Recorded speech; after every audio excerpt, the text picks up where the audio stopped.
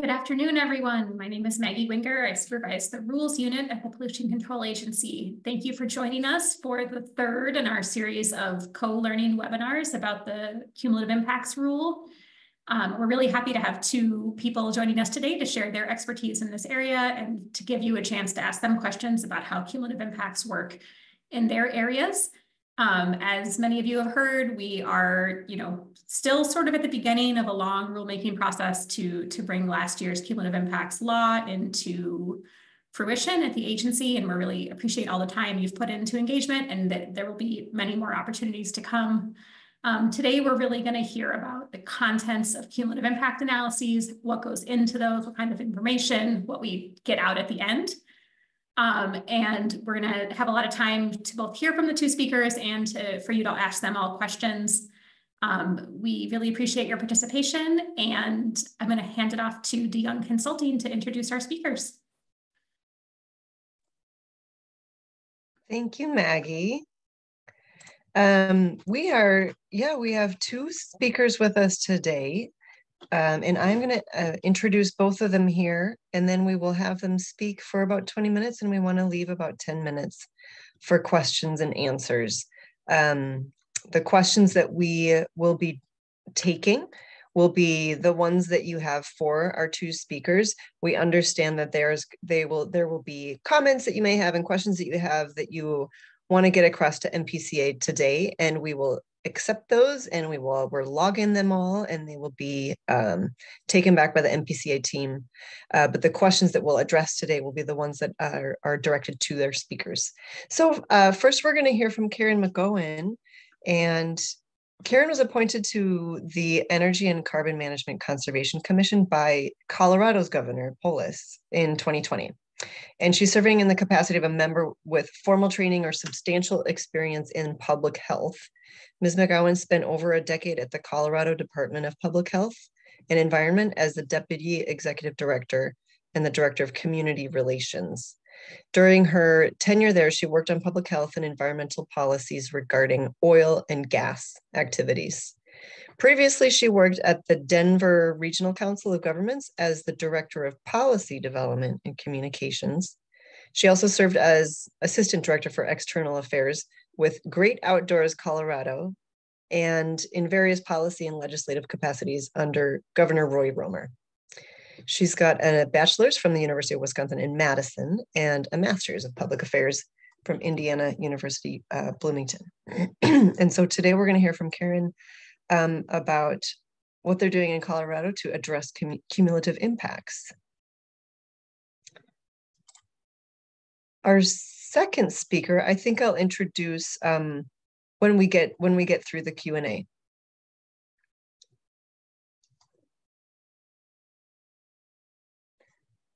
So we're pulling up um, Ms. McGowan's slides here. And we'll turn it over to you. Thank you. Uh, thanks for inviting me today. Um, like Anna said, I am a commissioner on the, we're now called the Energy and Carbon Management Commission. We used to be called the uh, uh, Colorado Oil and Gas Commission. Um, we've added other uh, energy sources to our portfolio. So now we're the Energy and Carbon Management Commission. But thanks for inviting me. And I hope um, some things that I can share as part of our experience will be helpful for you all as you uh, uh, start your journey or continue your journey to figuring out and how to address cumulative impacts. Next slide, please. So um, in Colorado, two important pieces of legislation that have kind of driven what we're doing at the commission.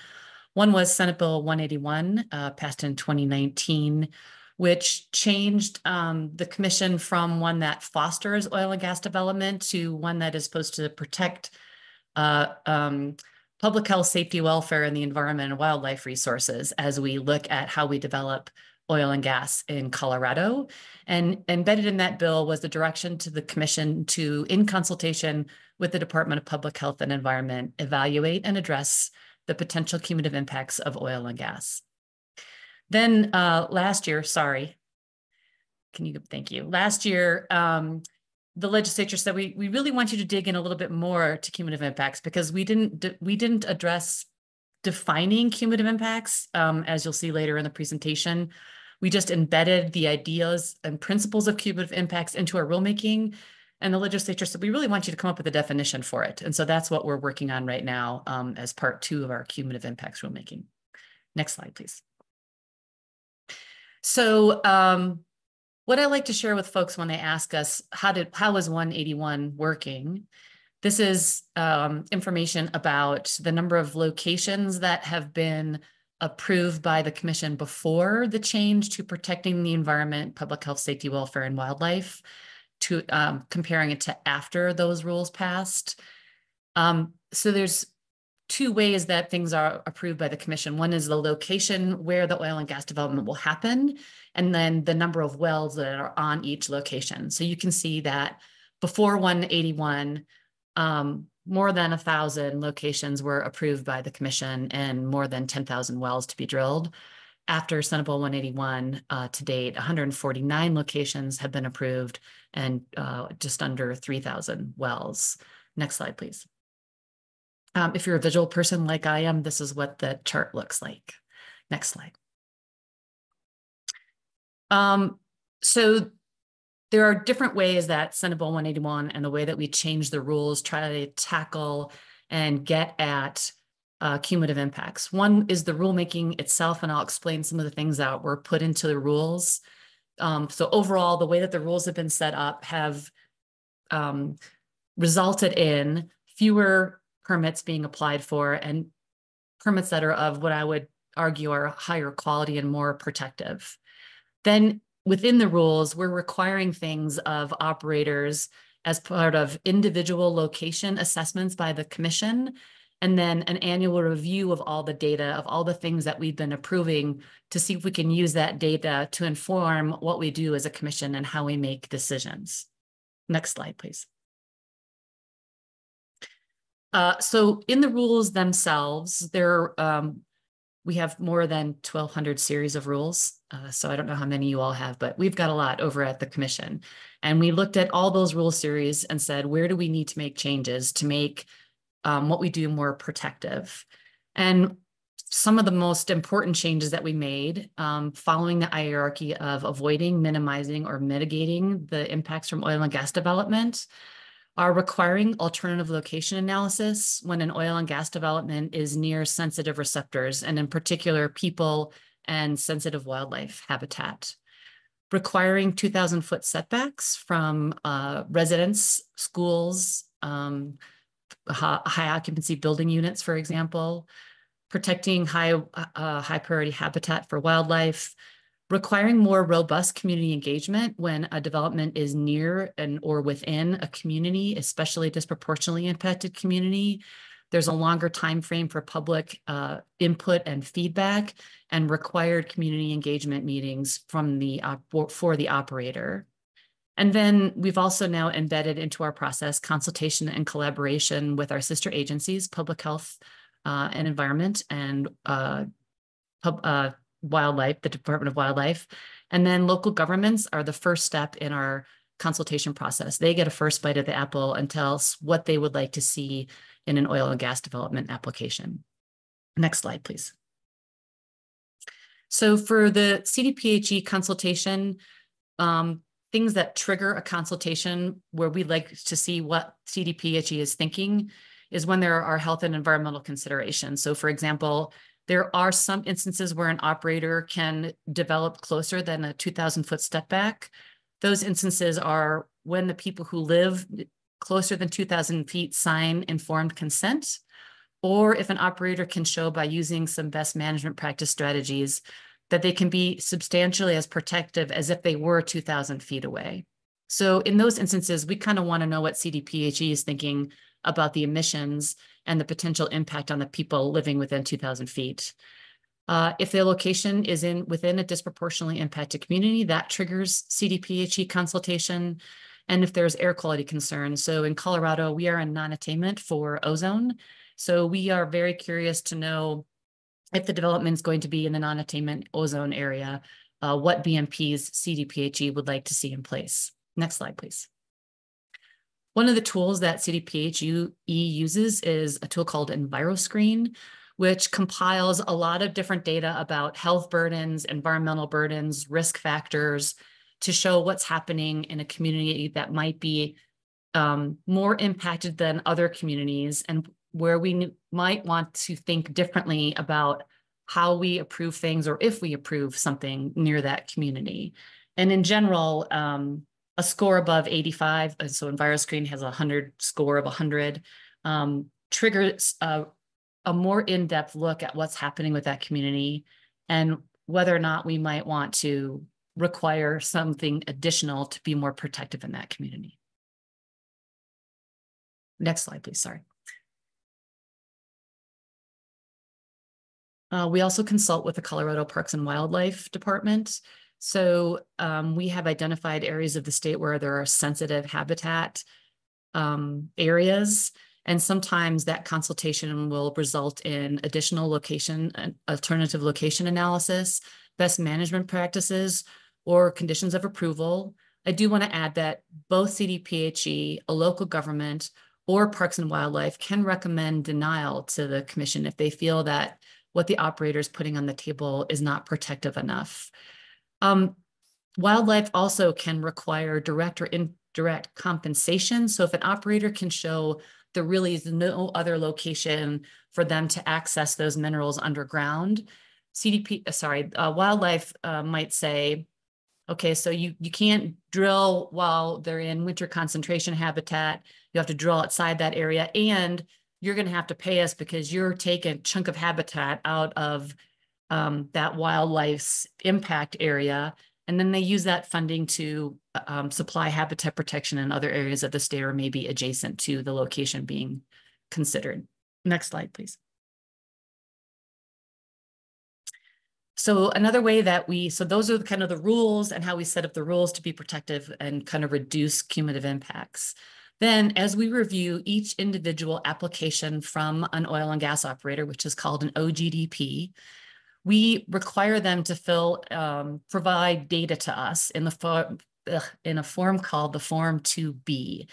And that form um, then fills in what we call our cumulative impacts data evaluation repository.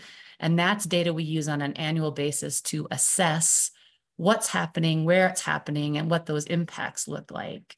And the Form 2B provides information to the Commission, such as the number of wells and where the location is going to be, um, the emissions associated with constructing and then producing the oil and gas, what kinds of nuisance uh, impacts there might be to people around or wildlife, including noise, light, dust, and odor, um, how much water the operator is going to use for fracking, where that water comes from, and then where that water ends up, whether or not they're in protected habitat, whether or not there's other uh, existing oil and gas locations within that area, and um, whether or not there's people near those locations. Next place, please. So this is an example of emissions data that an operator needs to submit as part of the Form 2B. So we can see the various kinds of uh, emissions from pre-production and production. Next slide, please. So the operator also has to turn in a cumulative impacts plan, which is a description of the impacts that they expect from their operation, how they're trying to first avoid those impacts, how they're going to minimize those impacts, and how then as a last kind of of the tier, how they're going to um, mitigate if necessary to offset the impacts that they will be introducing into an area. Next slide, please. So this is an example from uh, Noble, an oil and gas operator in Colorado. Um, in this example, sorry, I'm going to look this up so I have the details. Um, they submitted an application to us to drill 25 new wells on three different locations in Weld County, which sounds like a lot. But as part of this application, the operator also committed to plugging and reclaiming 16 le 60 legacy wells and decommissioning 16 legacy facilities, resulting in restored high priority habitat, fewer wells that are within 2,000 feet that exi exist today within 2,000 feet of building units and people's residences, and the elimination of emissions from older legacy facilities. And then those reduced emissions also get submitted to the commission as part of its CIDR database. Next slide, please. So then all that data that the operators fill in in the Form 2Bs gets put into our CIDR database. And then we use that data to provide an annual cumulative impacts report for the commission so we can see cumulatively across the state what is the impact of oil and gas development. And I've um, picked just a few examples from the report. It's many, many, many pages long and looks at everything from water usage, air emissions, habitat, um, number of wells drilled, number of wells plugged, whether or not you're in disproportionately impacted communities. So it's a it's a pretty hefty report. So I'm just pulling a couple of examples from that report to show you. Next slide, please. So uh, this is a picture of last year, 2023, oil and gas locations um, within disproportionately impacted communities. Those are in red, and those that are outside of disproportionately impacted communities that we approved are in blue.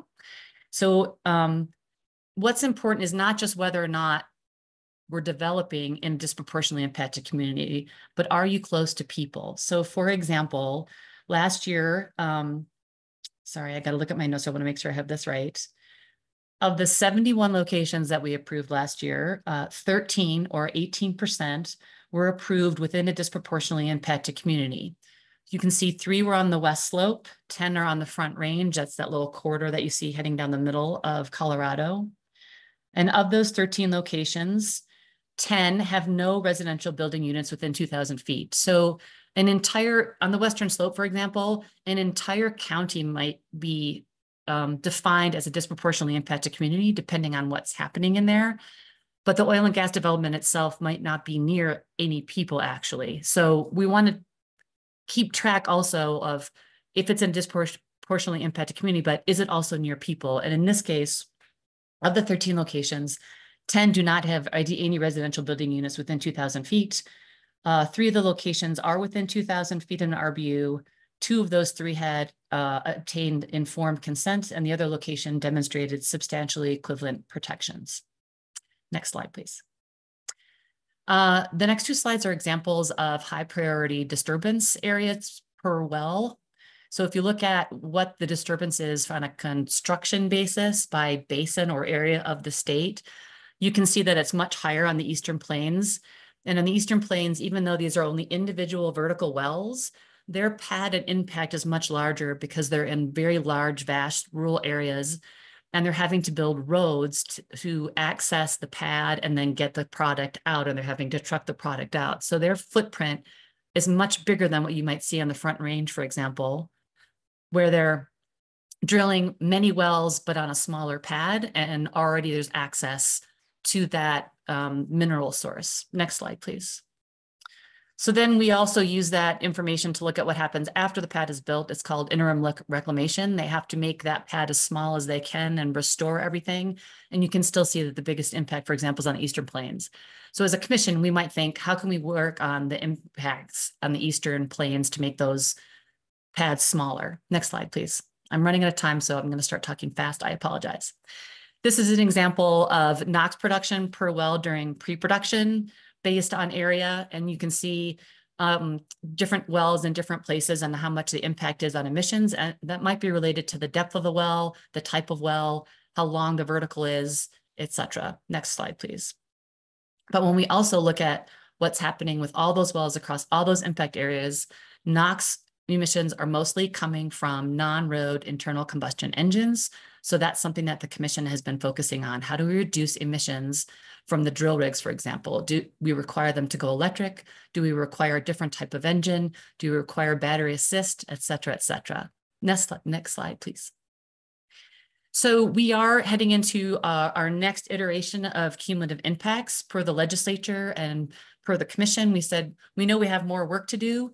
We actually started uh, last year with four listening sessions um, had public comment sessions, did five community meetings, an online community meeting, uh, invited informational written dockets and public uh, input. Next slide, please. Sorry, I only have a one minute left. These are the themes that we heard from those hearings. Next slide. People really want us to um, look at the impacts to um, define cumulative impacts, figure out baseline, and figure out if there's a threshold where the commission should either be saying no or requiring more than we're requiring now. Next slide, please. While we already have a, a definition for disproportionately impacted community in state statute, the feedback from folks is we want to use that EnviroScreen as a tool more often. We want to make sure there's a threshold for disproportionately impacted communities, um, whether it's denying or requiring something more. Next slide, please. I think I'm almost done. Um, they want more in community engagement. They want to be involved earlier in our process and have more say in where things happen and how they happen. They want information more directly, not indirectly through the newspaper or having to go online and find it from us. And they want to be more engaged with us, not just when there's going to be oil and gas development in their community. Next slide, please. Sorry.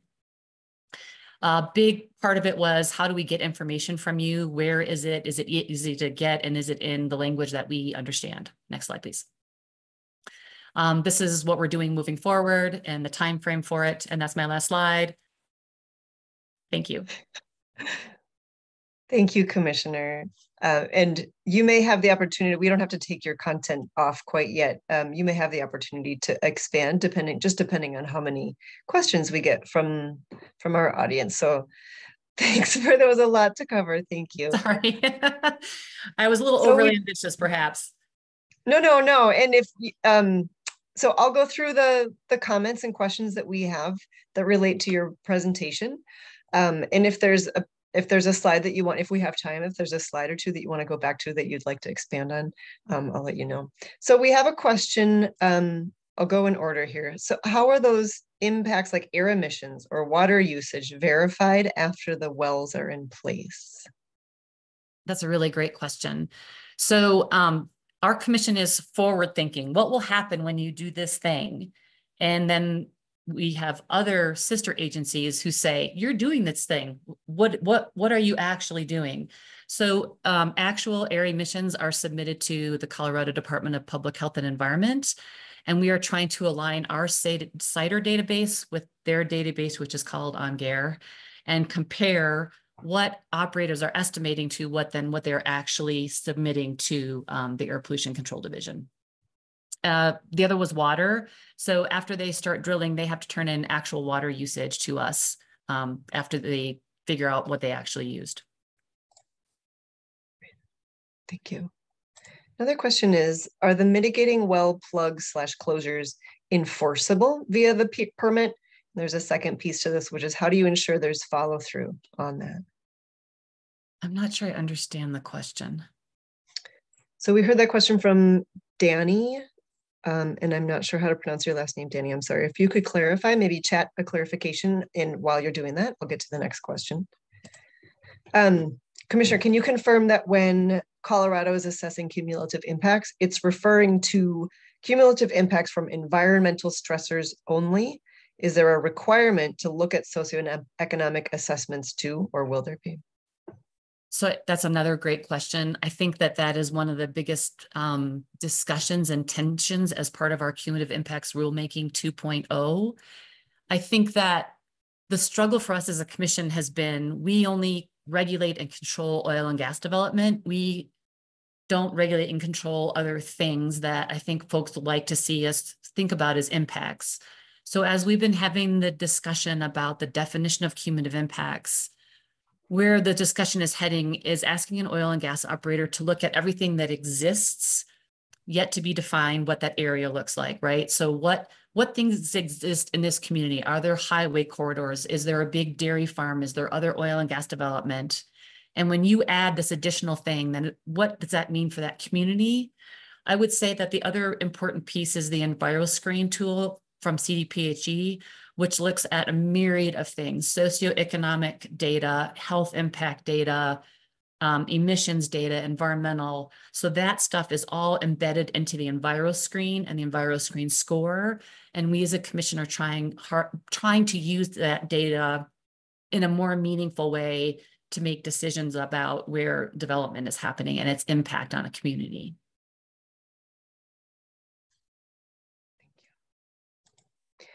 So we have somebody who's commenting on a particular slide, the one that was showing the reduced numbers of um, the the wells Sal, is this reduction attr- attributable to the cumulative impacts policies? Or did other market forces contribute to the cause of reduction? Yes. Uh, yes and yes. Um, so you're going to see a big dip during COVID because no one was doing anything during COVID. Um, but I think you see that continual downward trend is that what I would call an encouraging ratcheting on industry to be more thoughtful about how they're developing. So uh, what might be changing also is how many wells and operators trying to fit on one pad. They're developing better technology about the laterals that they can do so they don't require as many. They can do it from one pad instead of two or three. Um, and a lot of that is being pushed by us to say, you, you can't be near these houses. So you got to figure some, if you want that mineral, you can't be near this community. So they're figuring out through via technology how to access those minerals with better technology. So I, think it's a combination of both being driven by our rules, but there definitely have been some market factors as well. Right now, the market's humming. So um, I would say hopefully that our rules are still still ratcheting down and requiring quality applications, even though the market's doing well. Hmm. Okay, thank you. How did the legislature define disproportionately impacted communities? I knew I was going to get asked that and I didn't write it down, but it, it is based on um, uh, socioeconomic status, number of households below or above a certain poverty level, um, English, as, English as a first language. Um, and it, it is in our, I will find it and I will send it to you all so you can post it. I, my apologies. I knew I was going to get asked that. I should have written it down. no, that sounds good. There will be some follow-up communication or at least online. Uh, what are your community engagement tactics and have you received any feedback on that? So I think there's two pieces to that. So as part of our original rulemaking, if you're in a disproportionately impacted community or you're going to be near people, there's required engagement from the operator to have a community meeting at a time and location that's convenient for a community and um, offering childcare, for example, and it has to have information that, so that folks understand when, where, why, how this is all going to happen. And then the operator during our assessment has to explain what happened at the community meeting, what things were asked for by community, and whether or not they're addressing those things. I think there's a a second piece, which is how are we as a commission doing, for example, when we go through rulemaking, assess, accessing community and getting meaningful engagement from them and feedback.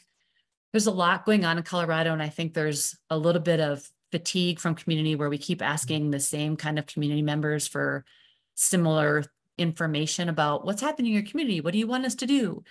So we're trying a lot harder to go out to community, asking them when is convenient for you.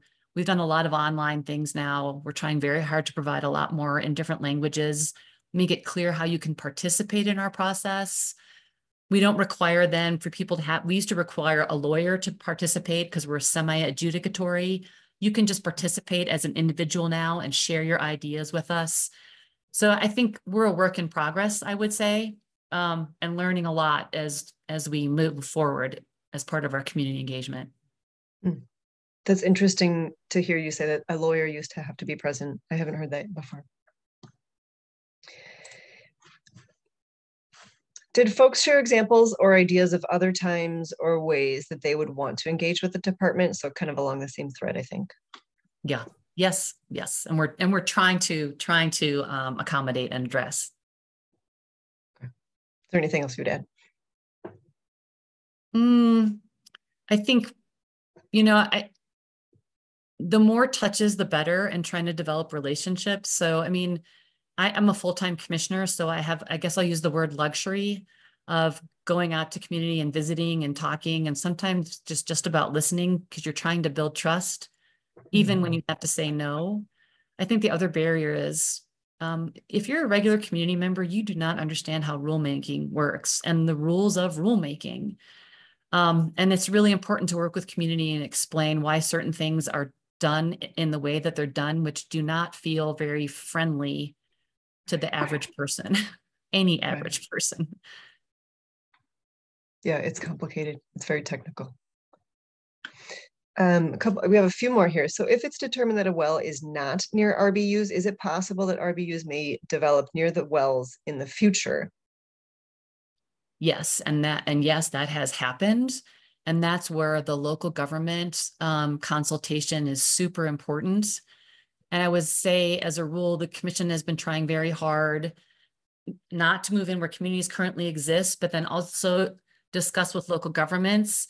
If we put this thing, some local governments have said we want you to build it now and sooner than later because we plan on building around your this oil and gas location.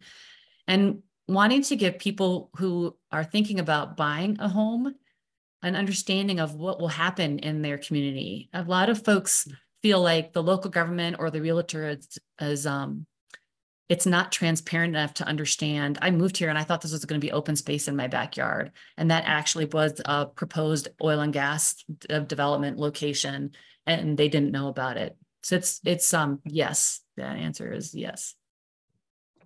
There was a there was a second question from this person, but I think you've addressed it. I'll say it anyway. Is potential future residential development taken into account in decision making? Is there anything you would add that you haven't already said? I think we have to depend on the local government for that, but there are no rules about. We call that the reverse setback.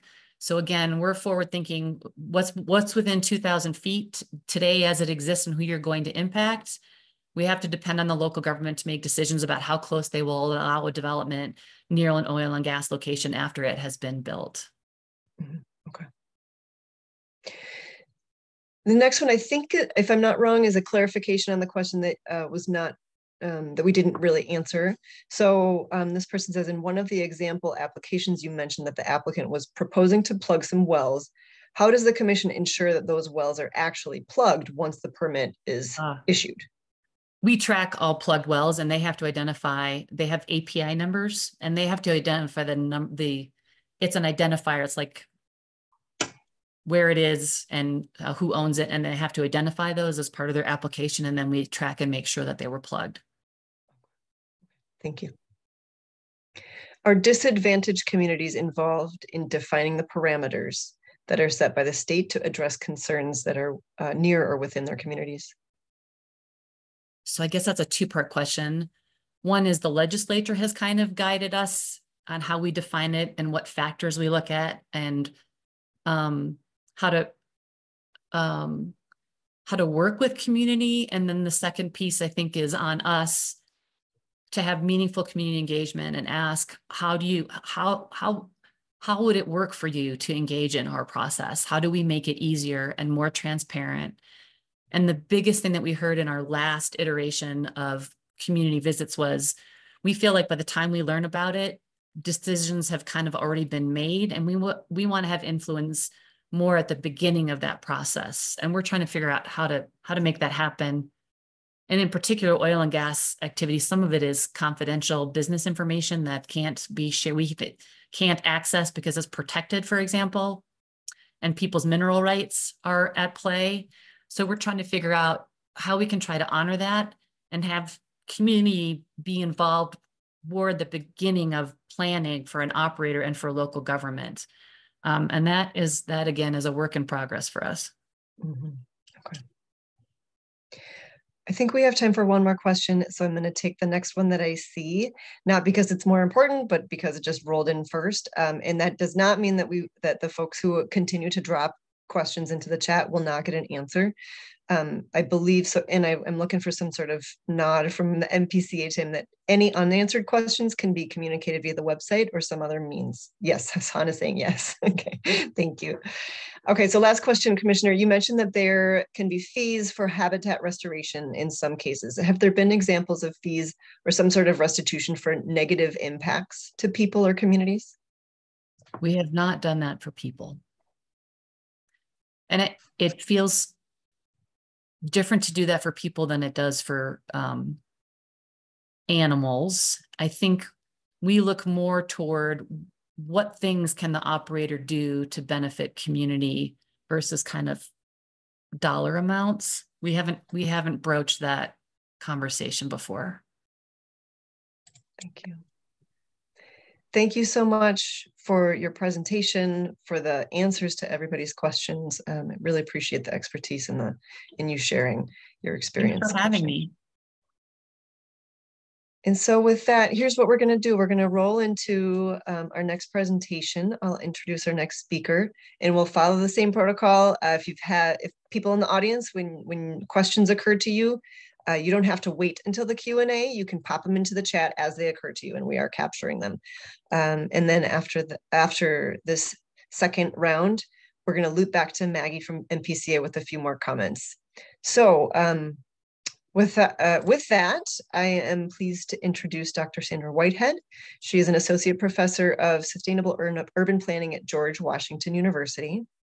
Dr. Whitehead is the current president of the Society of Practitioners of Health Impact Assessment and the co-chair of the US EPA's National Environmental Justice Advisory Council's cumulative impact work. She's a recognized expert of HIA, health in all and health in all policies, and is the author of a recent paper which discusses the use of mixed methods for cumulative impact assessment, which has been accepted by the Journal of Environmental Justice.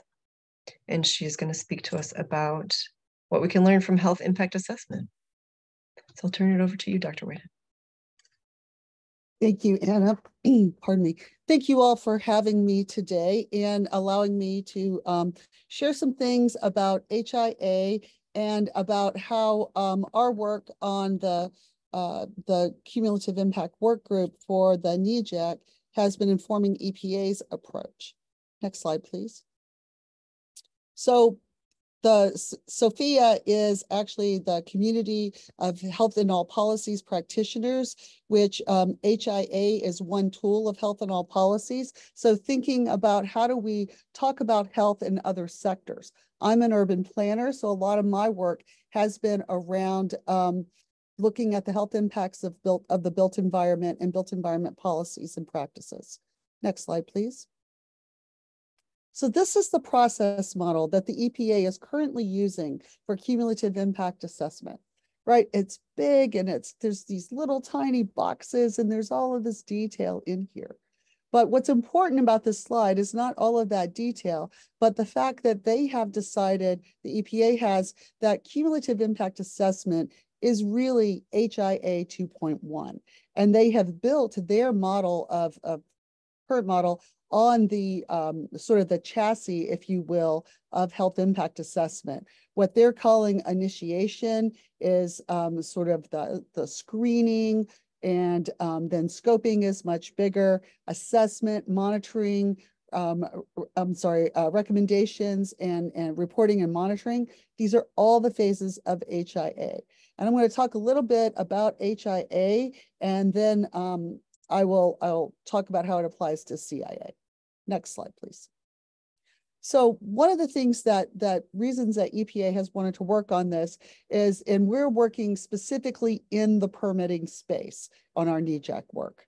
So permitting is is fragmented. You know, we don't look at uh, permits holistically. Whenever someone is applying for an air pollution permit or a gas and oil permit, we don't say, oh, well, you know, Office of Air, Office of Water, Office of, of you know, Brownfields, you guys all come together and we're going to talk about across media. What are all the impacts across media? It's very hard to get down to these health impacts if you're not looking across media, but regulatory programs are not structured that way, nor is permitting. So we wind up with this sort of mosaic of decisions that impact people's health, and it's really hard to take those all into account one of the questions the commissioner was asked was about, um, you know, how do you monitor this? And are you looking at socioeconomic factors?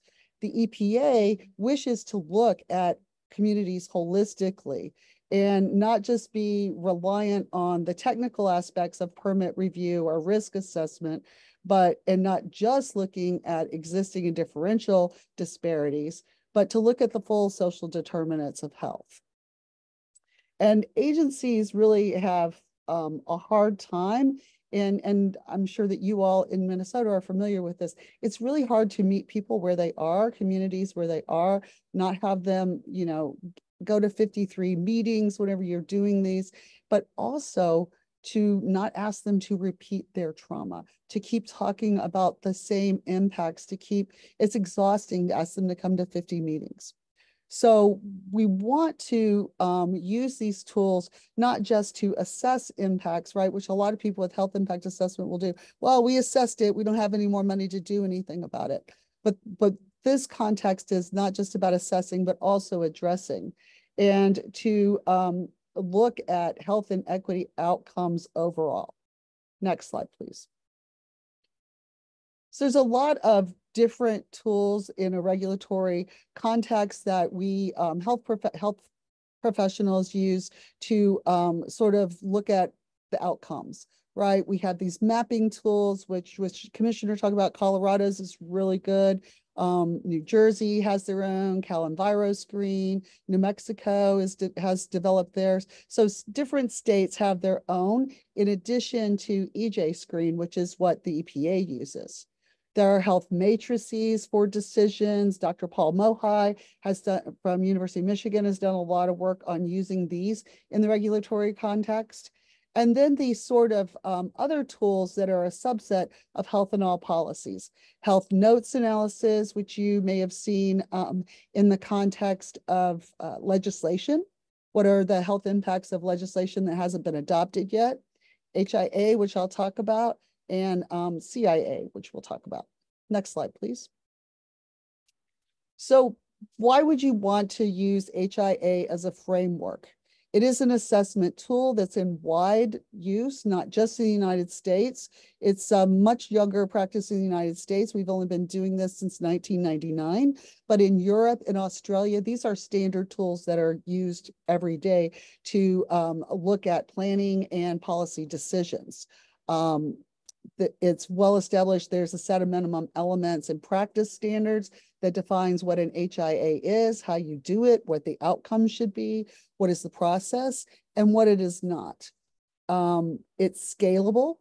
HIA can be um, sort of a mini scoping area, can be a rapid where you're doing an assessment sitting at your desk with data that's readily available on the internet.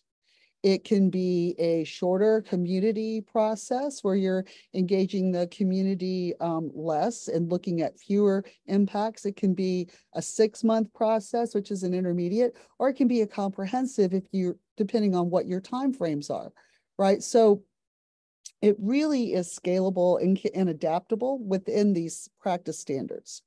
Um, and it centers communities and community voice in decision making. And I'll show you in a minute um, how communities are consulted throughout the process. Next slide, please. So these are the phases of HIA, which I alluded to, which the EPA has adapted. Um, screening in HIA is really looking at, is it feasible? Do you have time to do the HIA before the decision is made? Do you have the right staffing uh, levels? Do you have the resources? Do you, right? Like it's so sort of the go, no go. Is everything set to be able to do an HIA? And scoping, which I'm going to focus on a bit in this presentation, scoping is really where you're setting your HIA up for success. You're defining the parameters of it, both um, how you're going to engage people, what are the decisions that need to be uh, taken into account, what are the proximate health impacts you're going to look at, and what's your methodology for doing that. Assessment is where you're applying your methodology and assessing the and predicting the impacts. Reporting is where you're sharing your findings that you've already um, come to with your community and co-created. And then your um, evaluation and monitoring phases, phases, your evaluation is looking at the minimum elements and comparing your process evaluation and looking at your outcomes. And then monitoring is the plan for over time to see if the impacts that you predicted have come true and you need to do another intervention besides the recommendations to avoid the and mitigate. Um, you know, the commissioner talked about avoiding and mitigating. HIA has the same basis. Next slide, please. So thinking about, you know, as you're if you're thinking about if, if HIA is the right framework for you, right? Thinking about what the values that guide practice are, right? Democracy, making sure that people who are impacted by decisions are partic full participants in those decisions and not just told about it after the fact or ask for their involvement, which the EPA has been famous for doing, right? Um, and telling people what the decision is. Equity, making sure that you're addressing equity um, of the, the four different types of equity the distribution um, and uh, process equity, making sure that people feel um, included. Sustainable development, making sure that what your um, recommendations are are sustainable and take care of the needs of the present and the future. Next slide, please. Making sure you're adhering to transparent and systematic processes and scientific practice so that you're using the best available data and when I say data in HIA, I'm not just talking about risk assessment as we think of risk assessment as, as health scientists, but risk assessment from the community's perspective. What are the historical and cumulative factors that have made this community um, suffer from disproportionate health impacts or disproportionate environmental impacts? What are um, the processes for gathering community science and community narrative and putting those into your assessment process with your risk assessment, your traditional risk assessment. And then making sure that you're taking a comprehensive and holistic approach to um, public health and you're not just looking at physical factors. Next slide, please. So as I said, I mentioned HIA has this really great minimum elements and practice standards. And I'm not just saying that because I'm one of the co-authors, but this is um, put out by SOPHIA and it's updated every couple of years. And I just wanted you to, to know that this exists and to give you a couple of examples of how thorough the standards are and the guidance for it.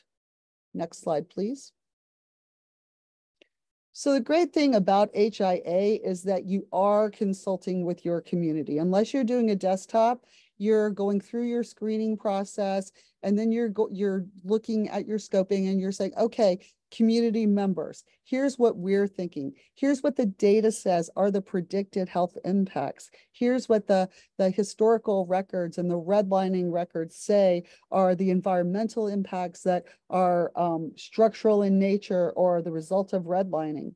And what do you think? Are these real? Are these the important issues to you? And how what are the issues we should be addressing in this process. And sometimes what the community tells you is not necessarily what you would look at um, from a health perspective, but it's important to listen to them and to take that into account because their reality is evidence. In the assessment phase, you're looking at the impacts and you're, you're help, the community is helping you prioritize which impacts and which trade-offs because you're also in assessment, you're developing recommendations to mitigate the negative impacts and to emphasize the any positive impacts. How do we magnify beneficial impacts while also mitigating, you know, historical factors and um, the the negative impacts that might result from this decision. And in reporting, this is capturing what the community said as well as the data and the information and reporting that back. So you're working co-create that with your community and then they are also evaluating you. They are participating in the monitoring plan. The monitoring plan should include community members and community organizations that have been your partners. You know, oftentimes we were doing these HIAs from the health department or the regulatory um, perspective. And whenever we got to monitoring, there were other agencies that controlled, say, you know, obesity or, you know, other things that we felt needed to be monitored. So we brought them in as partners. And then this was published on a website so that the community had an accountability, um, a way of holding um, us accountable. Next slide, please. So some of the questions that come up, right? One of the things regulators are often worried about in community engagement considerations, I know I was, um, is what happens when the community doesn't want this.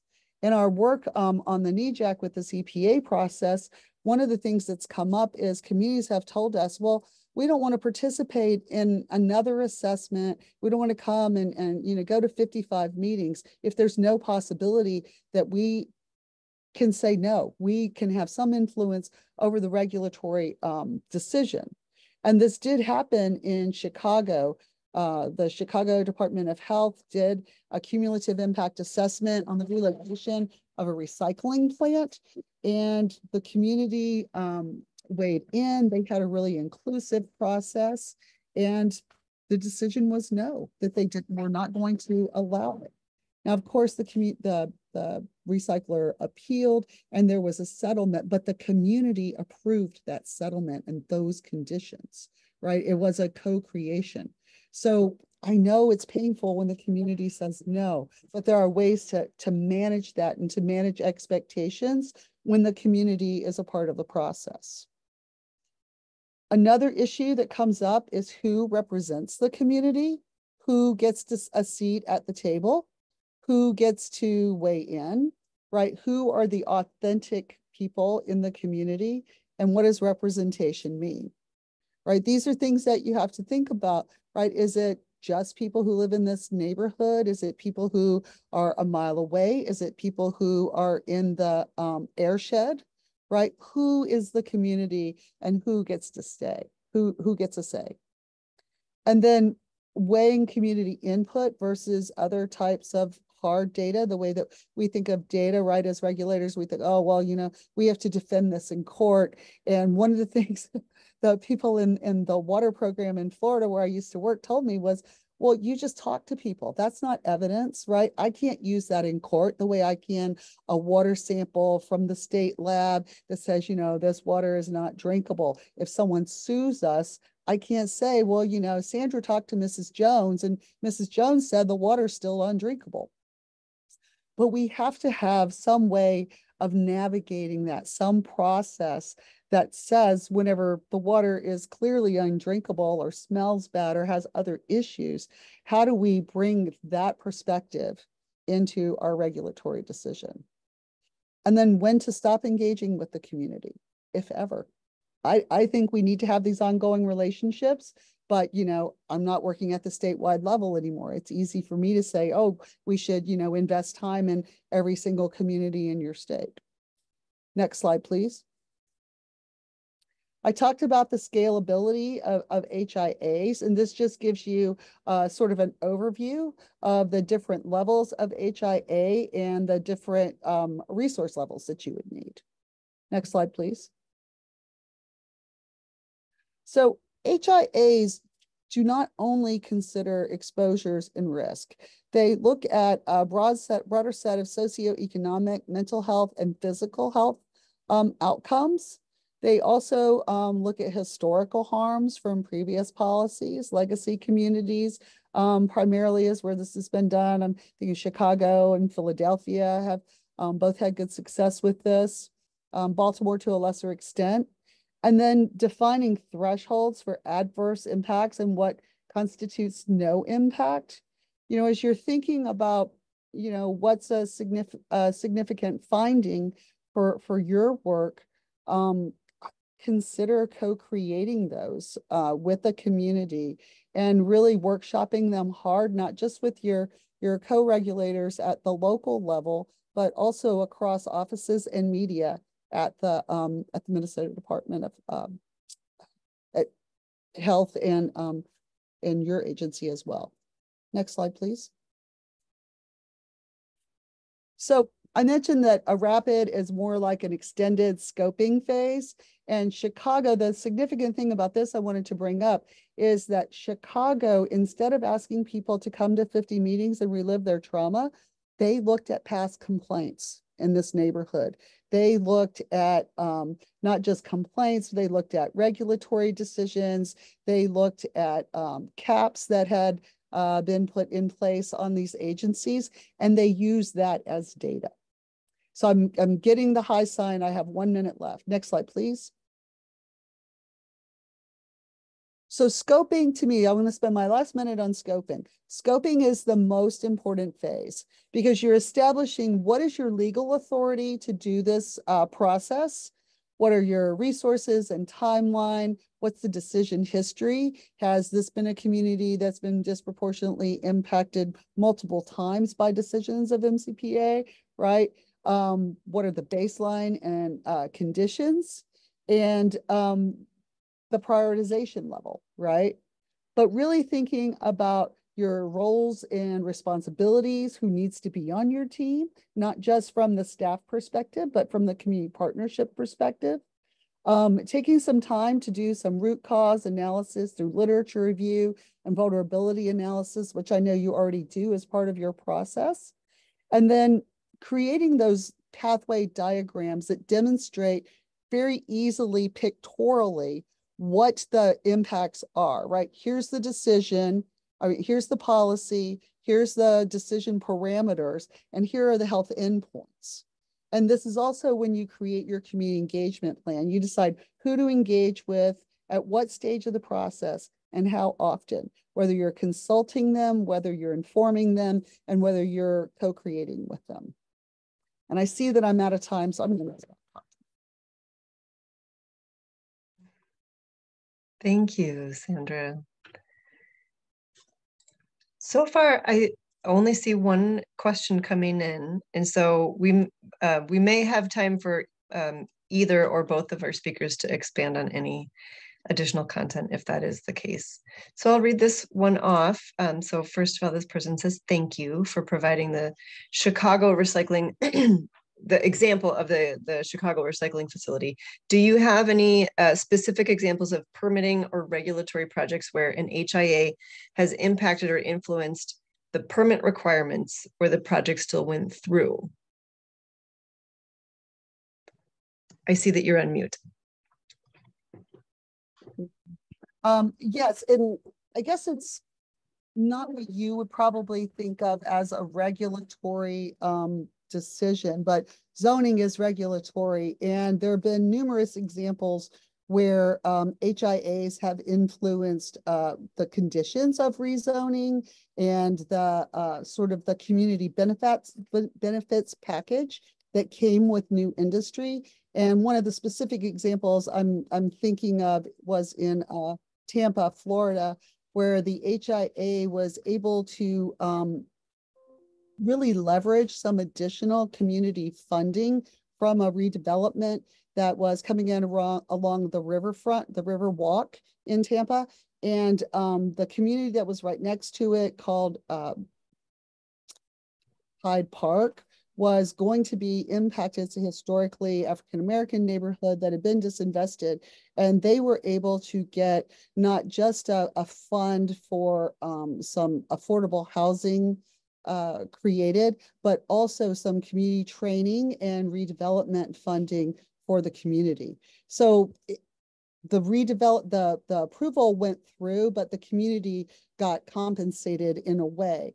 Now, one of the problems I have with community benefits packages with in regulatory decisions is that sometimes it feels like it gives polluters especially permission to sacrifice the people in that area because they built a school or they you know built this or they did that for the community when in fact you know people are still being exposed so I was trying to think of a more a regulatory one. I think there is one in New Jersey where there was a cumulative impact assessment that was done um, and it was done from their desk and it informed the permit and the permit went the community protested and then the permit went through anyway, but the community did get some benefits out of it.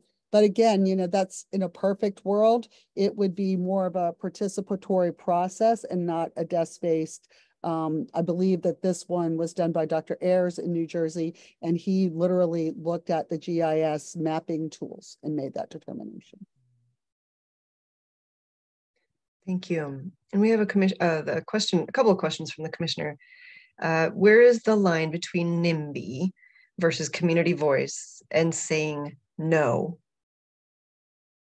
yeah, I think that's that's really the hard part, right? That was kind of what I was getting at at the when do you stop engaging, right? Mm. When it when does it become unproductive or you know look like it's going to head to court? Because that is where this, you know, a lot of times these wind up because this is a new process, this is a new way of thinking about it. These are new laws across all of these states. I think Minnesota, you guys were first um, out of the box with the state law. And so in a lot of ways, we're, we're still trying to figure that out. But from my, my land use planning background, I can say that there are um, professional NIMBYs, right? There are people who are, who come to these and they're well read and they're well researched, but you know, they come to every one. And the the best thing you can do, I think, if you have time and staff to do it, is to try to figure out who these people are going to be and to pull them into the process early and often and get their voice so that they have an ownership and they're not going to torpedo you at the end. But that's, you know, easy for me to say. I don't have those resources as a researcher. There's a second part to her question, which is, is it the relationship to community impacts that is key? Can you speak to that at all?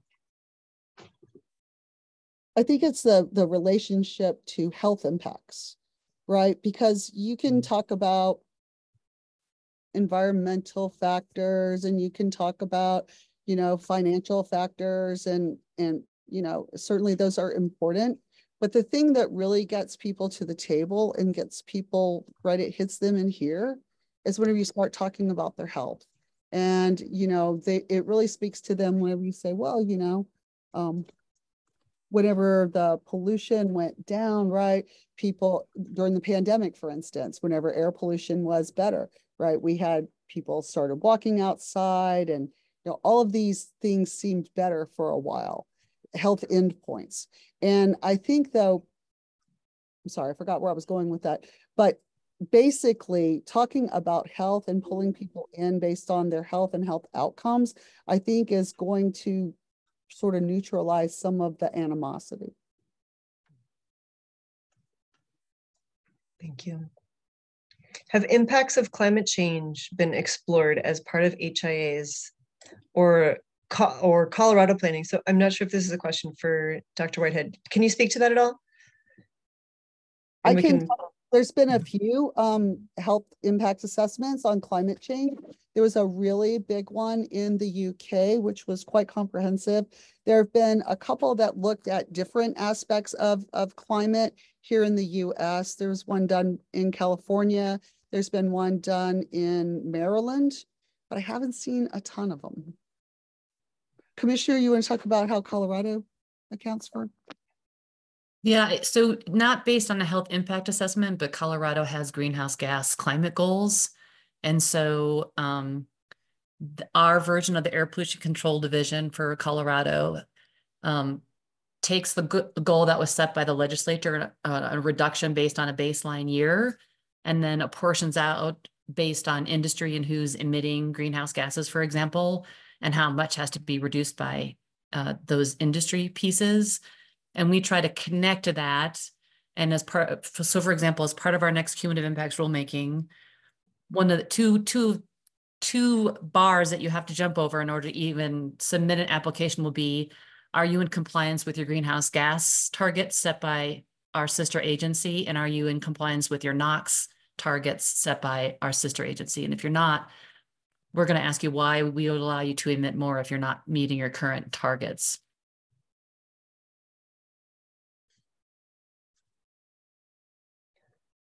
Because we have some time still, um, I'm going to go back up to the questions that we didn't get to earlier, if that, um, so that will put you back on the spot, Commissioner. Um, how do you intend to make sure that the rules are enforced for a better impact?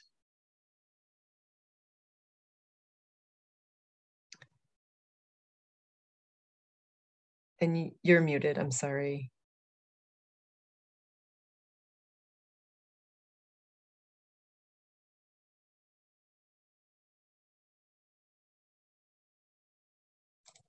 Sorry, I pushed the wrong button and I couldn't see the screen at all. Zoom and I do not get along for whatever reason, for however long we've been using it. It's like my nemesis. Um, sorry, could you say the question again? Yeah. Yes. How do you intend to make sure that the rules are enforced for a better impact? So we have a um, so the once we approve an oil and gas development plan, it then becomes part of the permit and it's all enforceable. So our inspectors who go out and inspect the sites um, can enforce against that. So if there's conditions of approval, best management practices, or just something that the operator um, uh, said that they would do, that's all enforceable as part of the permit and our compliance, um, our compliance arm then is able to um, inspect and enforce against that. I'm going to go ahead and ask the second one that was that's for you, Commissioner, and then I'm going to loop back to you, Sandra. The questions are coming in. I'm trying to field who the, who they go to. So this question came from Mary, and I think she chatted this when you were going through the presentation. She says, "Why 2000?" Does in you're nodding your head. You know what that is referring to? Yeah, so the 2000 okay. foot setback is based on a health risk assessment that was um, not it was contracted out by CDPHE, and that was the best data that we had at the time. And so um, we use that 2,000 foot setback and that health risk data to try to form a pretty hard setback from residential building units, schools, and high occupancy buildings. Mm -hmm. And another one for you, Commissioner. Does Colorado's climate goals and plans include economic development that, in, that includes alternatives to oil, gas, and mineral extraction, which impact climate and health in your state and globally? Yes. So there's a greenhouse gas roadmap set for the state that includes um, goals for alternative energy sources to try to offset. Um, I mean, the the thing about oil and gas, right, is we we don't get to control where it exists. And so even though Colorado as a state is trying to get to a a goal of 100% renewables by X date, we we still supply not just our own state's resources, we supply those resources to other states, other people, right? And so we're trying to ensure that whatever it is that we are extracting, we're extracting in the most protective manner that it's we we call it the cleanest molecule possible, um, hydrocarbon molecule, and that it's a tagline that the industry likes to use. Um, but we feel like it's still we still need to play a part because not everybody maybe is in the same space that Colorado is, and we realize that we are a producer of an energy source that other folks are using. Hmm. I hope that answered the question. But if you you can find our greenhouse gas roadmap and you can see what the goals are for all the different uh, energy sources and how we're trying to get there. Great. Um, Sandra, a question for you. There was a timeline of the HIA process, but can you provide a general idea of how long the process takes? Is it months, years, and how much does that cost?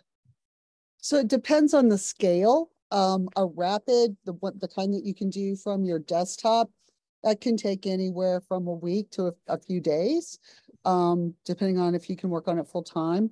And then um, an intermediate is, you know, it can be a couple of months um, usually they're about three months.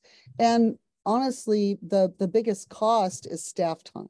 You know, a, a full comprehensive HIA takes about a year and costs I don't know, the way that we were doing them um, most recently, we estimated that the year-long one takes about $50,000. The, the intermediate, the one that's like three to six months, it was 15,000 or less. You know, we just depends on um, the level of staffing that you need and whether you have to travel, those kinds of, of issues. But um, it's not that expensive, right? People are always like, oh, it takes too long and it's super expensive. But a lot of the data that you need for these, a lot of the modeling you're doing as part of your other processes or um, a part of your agency owns that data, right? The biggest part of the cost is the engagement and making sure that um, you're getting people to the table that need to be there and that you have enough time to really have the community help inform your process. But at some point, you have a regulatory deadline to make your decision. And that's what I was referring to whenever I was talking about at some point you have to stop you know, engaging and actually make your decision. And hopefully your decision is informed by the things you heard from the community. I mean, ultimately the agency has that responsibility, but also to make sure that you create that opportunity for an ongoing dialogue after the decision is made because this isn't the last time that community is going to to have a permit submitted you know for um, a facility there hmm. Uh, this next question actually builds on that. Uh, so you mentioned in your presentation, Sandra, that the process is democratic. to, and so Allison is wondering, to what extent is this process democratic? if at some point regulators have the option to stop listening to the community. Can you speak to that? Yeah, and I guess stop listening is is not what I intended to say. What I meant was at some point you have a regulatory deadline and to gather as much community input and and to use that input in your decision and talk to the community along the way and say this is what we heard from you. This is how we used that you know first this is what we heard. Is that right? Right? Here's how we're thinking of using that. This is what i meant by community engagement along your process. Here's what we heard from you. Is this correct here's how we're thinking about using what we heard from you, your lived experience, your community data. Because remember, some communities have their own air monitoring um, facilities, right? They buy those little regulators or, you know, they do water monitoring. So communities gather data too, and making sure that you are bringing them along with you through your decision process so that whenever you get to that part where you're like okay we have two weeks to publish this decision it has to go in the paper and you know do all of the things you have to do when you're publishing a permitting decision but they should not be surprised by that. They should have known about it they should have participated in it and once that decision's made you should be able to have a relationship with them such that after the fact if the the facility isn't doing what it said or you know they're they're experiencing health impacts or they should have that open door back to you right? It isn't that you may be able to mo- to modify the permit because that's probably not possible but listening to them and making sure that you know there are things you can do to address their concerns if they are ongoing. That's all i meant. Mhm, Thank you. Another question around climate change impacts, and I think this is for you, Commissioner. Are climate change impacts on air quality now and anticipate in the future that there that are likely to increase increase background pollutants being considered as part of cumulative impacts? That's an interesting question. It probably better for the Colorado Department of Public Health and Environment, the keepers of all things air. Um, my focus is so on oil and gas right now. But I think that um, when we this our state when we've been setting goals, they typically have been picking a baseline year for which they know they have good data, and then saying we're going to reduce by X percent from that baseline data by Y date. So cumulatively for that particular pollutant, you shouldn't see a baseline increase. We should see a, a slow decrease. Um, we have discovered in oil and gas, however, sometimes when we decrease one pollutant, it increases another um, by de facto of what's happening. So like we had a VOC rulemaking a couple years back that's increased NOx actually. So now we're trying to talk, tackle NOx. So there's some interesting sometimes offsets when you do one thing that you didn't think about that was going to happen. And I'm not sure that answered that person's question, but my perspective now for several years has been basically oil and gas. I'm not sure I'm going to do Mhm. justice to the, the total air quality perspective.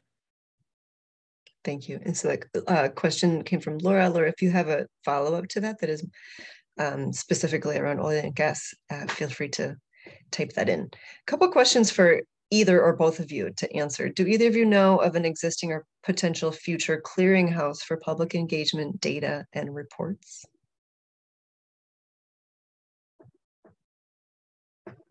perhaps the the uh requester could clarify what they mean i'm not Okay. sure what they mean by data and reports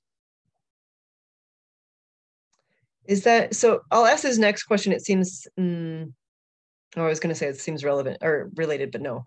Um, so that came from Sadie. Sadie, if you are able to clarify what you're looking for a little bit more specifically, that'd be helpful. And then while you're doing that, I'll ask the next, the next question. Do either of the presenters have best practices to share about how to make sure those involved from the public accurately reflect those most impacted by projects? So, and there's a second piece to this as you're thinking that's related. How do you respectfully know who, quote, represents the community and avoid unknowingly excluding people? I'll start and maybe Sandra wants to. Uh, so I, I think that's a really good question. And I think Sandra said before, sometimes you have folks who are consistently a part of your process and re- represent community at large. So like Green Latinos represent a certain segment of our stakeholder um, group that works with us all the time, but they don't necessarily represent a specific community. And I think we've been trying hard to work with an operator to say, you, you need to be in community. You need to put flyers on all the doors within an X or Y radius and invite them to a meeting so that what I will call the usual suspects don't just show up, who are well-intentioned and well-meaning and have great ideas. But you really want to, to your point, to the questioner's point, you're really trying to get at the people who live in that community and what their feedback is. And I, I would say that's a really hard thing to achieve. And as part of our rulemaking process, we've been trying to work through local nonprofits, schools, libraries, places where people are and have connections to figure out how we get a broader, wider um, representation of community uh, to feed into our process. Mm -hmm. Yeah, I think Karin's right, right? Going to the institutions that are in the community that's that's going to be affected. Um, one of the things that we always did was you know, do the door to door, sending out the letters, making sure that people knew that they were in the in the impacted area, but also going to trusted institutions and saying, here's the list of people we're talking to, or here are the people who've come to the meetings, who's missing right? And sort of doing a snowball sample of who is not at this table that should be. Um, looking at your data and kind of slicing and dicing different segments of the community and making sure that all of those impacted or vulnerable are um, have some representation.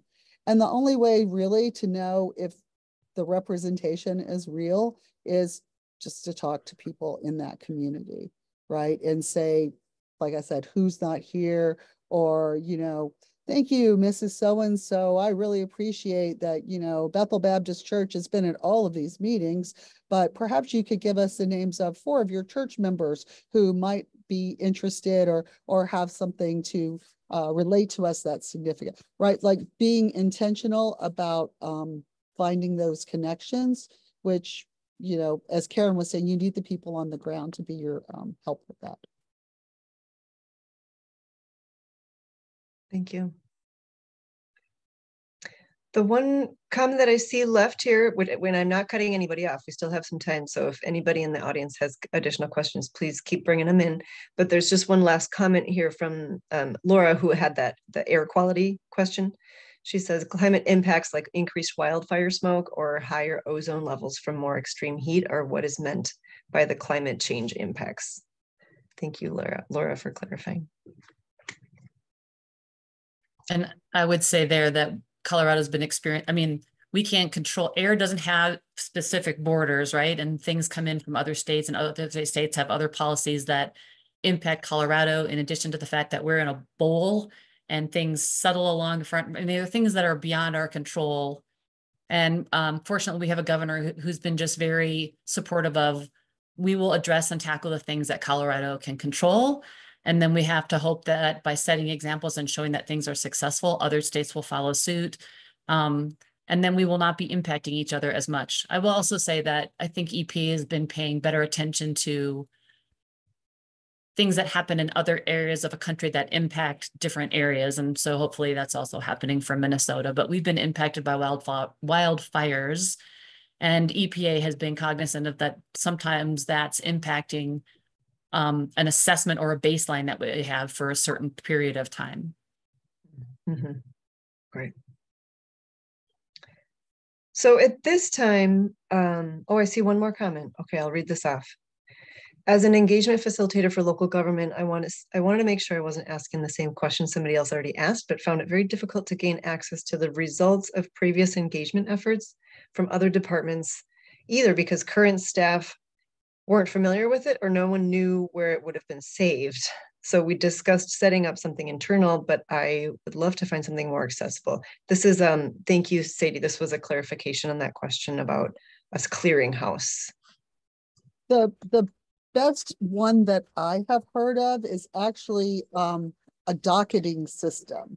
And the EPA Region 5, which is Chicago, has been setting this up. And what what it looks like. And perhaps this is something you all be interested in, is every time someone in their office interacts with a community, they enter into this database, this docketing system, says, you know, I talked to Ms. Hall in uh, Cincinnati about the lead plant that exploded and her community's exposure. We did an investigation, da da da da, right? And every one of these interactions with communities or a permit uh, comment or a complaint goes into this docketing system so that if I, as the community engagement person, got, you know, won the lottery and got a different job, or God forbid something happened to me, the person who came behind me could pick that up and go, oh, yes, I need to call Mrs. Hall about that issue down in Cincinnati, right? I think something like that. What we had at the state of Florida was a complaint logging system, which to me is just the name of it was wrong, right? That's not exactly what it was, but being able um, to put in those positive community interactions and those um, sort of inquiries for of interest and and people who are just asking for information. I mean, I think that that's really valuable, and that might be something like a docketing system might be something you all are interested in setting up. Thank you. And thank you to everyone in the audience for asking the questions um, and clarifying when we needed clarification. I really appreciate your um, your participation. We have a few minutes left, so um, everyone here, if you have just a few minutes, I want to loop back to Maggie uh, uh, at MPCA because she wants to clarify or um, explain, I guess, the process, the overall process that MPCA is following and where we sit in that process. So everybody has an idea of what's um, what this looks like at a higher level. Go ahead. And so Vanessa, if I could, if you are able to bring up the slides from the, um, it is slide four and five, I want to say, we're going back to. Thank you. Anna's being kind. I skipped this and she reminded me as we started. Um, thank you all. So, so as I said, this was our third kind of co-learning webinar and really great questions from the audience and great questions from MPCA staff in the chat. Um, thank you so much to Sandra and Karin for sharing their expertise with us. Um, we anticipate having two more of these sessions in April and May. You may be getting a save the date for April later this week. We're working hard on it. Um, we anticipate that session being about community benefit agreements and how that has worked in some other related related types of programs. Um, and then we're going to move into really digging in on what the law requires us to create and rule. And, and I know that people have been like so ready to jump into that and, and we're really excited to switch to that too. Um, we don't have dates to announce yet. We anticipate those sessions being sort of June through October. We're really um, working with DeYoung on both planning and facilitating those sessions so that we can hear from a lot of people, capture the good input and be able to really pull that into the, the formal rule language.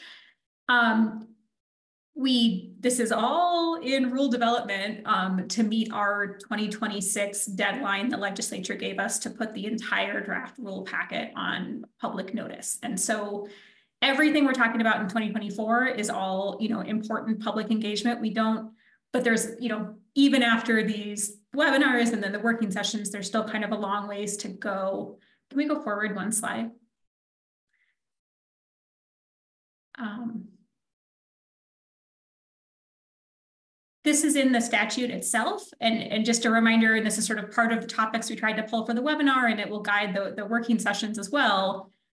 The law told us this list of eight things that we need to create in the rule, seven things, depending on how you count. But we really want your input on this. We got input in the fall during the request for comment. People have continued to share thoughts with us. We will have a lot more chances in the summer and fall but we know that we need to establish basically the parameters for each of those. So when do we have to do a cumulative impact analysis? What are the required contents? What is the public information that goes into that? Um, what would constitute a substantial adverse impact? So you heard about that today. What, when is there sort of no impact or functionally no impact and when is there an impact? Um, if there is an impact and we can't address it with the facility, what, what would a community benefit agreement look like? as Sandra said, there's, you know, a community benefit agreement is kind of an acknowledgement of unavoidable harm. How do we, how do we weight that? What's the procedure for entering that? Um, it re requires us to establish a petition process. Um, there's some specific process around tribal governments electing to participate in this that would happen through consultation. Um, consultation is formal government to government between the state of Minnesota and, and tribal government. Um, and then establishing methods for holding public meetings and handling public comments. And I think you heard a little bit about this from Sandra and Karin today of there's the engagement around the rule, and that's where we are right now, and that matters, and that's statewide. But then there's also what are the minimum requirements going to be for a facility that really could focus on an individual neighborhood, because obviously that would be in a specific place and proposing a specific project. Um, and so we're trying to learn and hear from you and do better engagement on the rule itself. And we need to formalize some of that, those conditions into the rule so that when projects come through this process in 2026 and beyond, they are doing adequate public engagement around individual facilities. Um, so, you know, we're kind of balancing those two pieces too and trying to make sure that what we hear during the rule is reflected in those conditions for projects. So that's sort of where we're at. We will continue to share all of the opportunities, webinars and work sessions, everything through the Gov delivery list for sure. So if you're not on that, please go to the PCA website and sign up for updates on cumulative impacts. Um, that's the easiest way to make sure you get it. We'll try to do social, we'll try to do other things, but the, the Gov delivery list is the kind of sure thing. Um, and we will, we really appreciate all your time today and DeYoung and our speakers. Um, Anna, did I miss anything else? No, I don't think so. Is there any any final remarks um, from the PCA team or my team? I'll just add one thing on to what Maggie was saying. Um, hi, everybody. My name is Hassan Boucherab. I'm the engineer coordinating all of the technical aspects of this at the at the PCA for the rulemaking. Um, just wanted to, to mention, circle back to one of those earlier questions, or a few questions ago, sort of surrounding um, engagement, talking with folks, uh, meeting people where they're at, right? You know, again, we're we're we're doing these. You you may be attending this because you're already signed up on that Gov delivery list that uh, Maggie mentioned. Maybe you heard this from a friend, family member, coworker, something like that. Um, you know these are the wide big opportunities uh, but also just if if you are interested you want to talk to us more you want us to come talk to you more about something whatever it is that you find interesting um, or want to hear more about for this rule uh, let us know. Because um, we the last time we did one of these webinars we got a request to come talk at a, a different meeting that was set up in in um, minneapolis or around that area. So if you are interested, you're more than welcome. Send send me an email, give me a call, let me know, hey, I got this thing going on a couple weeks from now. Would you or somebody be willing to come talk about this rule or this a specific part of this rule that you might be interested in? Just let us know. That's and we'll we'll we'll see what we can do to make it work. One final comment from Commissioner, and then we'll wrap up. Oh, thanks. Someone um, message me to add this for my slide deck. I just assume you guys are going to post it and it's accessible. Yes, the recordings um, on the website uh, the that Maggie posted in the chat there. You can find uh, previous recordings of these webinars on there as well. So you'll be able to see the presentation and everything. Big thank you to our speakers uh, for being with us today. It's much appreciated. Take care, everyone. Have a great day.